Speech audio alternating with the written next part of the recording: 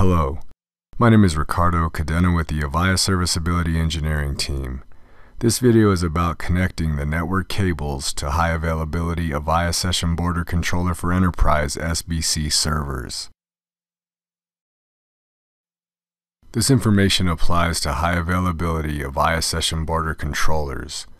High availability Avaya Session Border Controller for Enterprise configurations include three servers one separate single EMS that controls and manages two separate active and standby SBCs.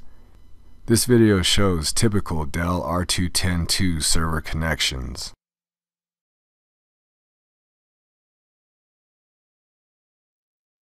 We first connect the management network to the M1 ports.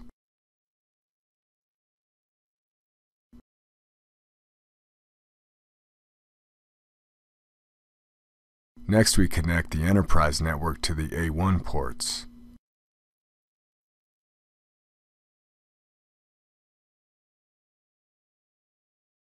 We then connect the public network to the B1 ports.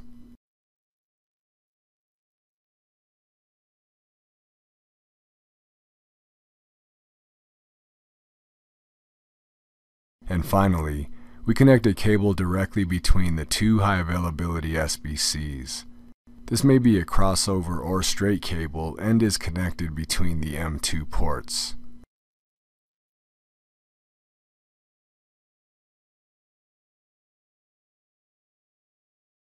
For a one-wire deployment, the A1 connection would be used for all non-management traffic.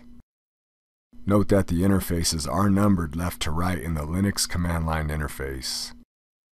B2 is identified as ETH0, B1 as ETH1, A2 as ETH2, A1 as ETH3, M2 as ETH4, and M1 as ETH5. For additional information on connectivity, reference the Avaya Session Border Controller for Enterprise Installation Guide. For additional information on deployment options, reference the Avaya Session Border Controller for Enterprise Administration Guide. Thank you for your time today. We welcome comments, questions, and feedback at mentor at avaya.com or on Twitter at Avaya Mentor. For more details or related information, please visit support.avaya.com. Thank you for choosing Avaya.